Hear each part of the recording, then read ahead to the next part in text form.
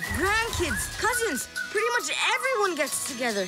Even great grandma Coco. And the winner is Luchadora Coco! I tell her pretty much everything. I used to run like this, but now I run like this, which is way faster. Life sounds like. Miguel, eat your food. Here, have some more. No gracias. I mean, see?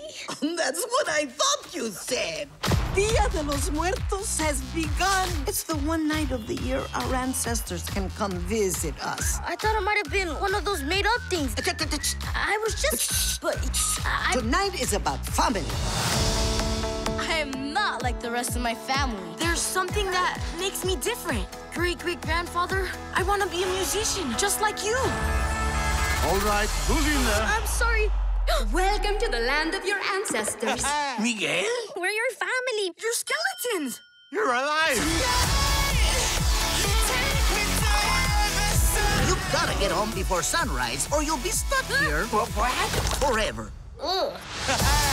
Security! Hurry, come on. It's showtime! You, my boy, are meant to be a musician. I must follow my heart. I am trying to save your life. Nice kitty. Miguel, something's mattered more than music. Sorry. We may have our differences, but nothing's more important than family. I'm proud